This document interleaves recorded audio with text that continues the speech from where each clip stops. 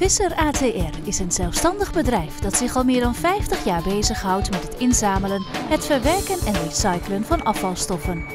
De hoofdactiviteit van ons bedrijf is het verwerken van bouw- en sloopafval. Wij zien het als onze plicht om onze eigen logistieke processen te optimaliseren, zodat de uitstoot van CO2 wordt voorkomen en of wordt gereduceerd. Visser gaat daarbij verder dan wat uit de wet en regelgeving vereist is. Onze sorteermachine heeft een capaciteit van 35 ton afval per uur. Omdat we tot het uiterste gaan, wordt zelfs het kleinste deel dat niet automatisch kan worden gesorteerd handmatig gescheiden. Plastic en papier wordt in een aparte hal verwerkt. Wekelijks worden zo grote hoeveelheden gesorteerd, in balen geperst en aan de verwerkende industrie geleverd. Metalen worden op kwaliteit gesorteerd en als grondstof doorverkocht.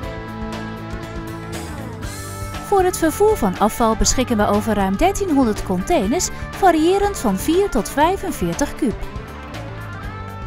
Puin- en steenachtige materialen worden ons verzameld, gebroken en omgezet in nieuwe producten. U kunt deze vervolgens als gecertificeerde gerecyclede producten bij ons afnemen. Hierbij moet u denken aan menggranulaat, betongranulaat en asfaltgranulaat. Ons totale afvalmanagement is erop gericht om meer inzicht te krijgen in afvalscheiding, afvaltransport en afvalverwerking. Daarom wordt er gebruik gemaakt van de standaard Windows software van Pieterbas Automatisering. Goedemiddag, Visser Afvalverwerking met Esther. Door de inzet van onder andere tablets in de auto's is het gehele administratieve proces digitaal. We zijn hier op de containerplanning.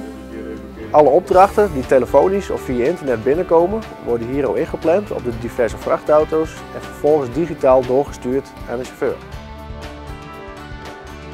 Hier in de auto komen de opdrachten van de planning binnen op de Galaxy tablet.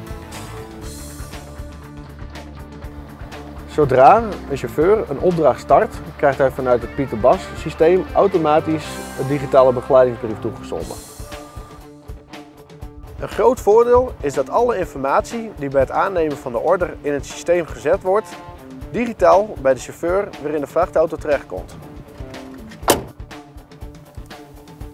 Zodra de chauffeur de order heeft afgehandeld, worden alle gegevens hier digitaal naar de administratie gestuurd. Daarna kunnen wij de factuur versturen.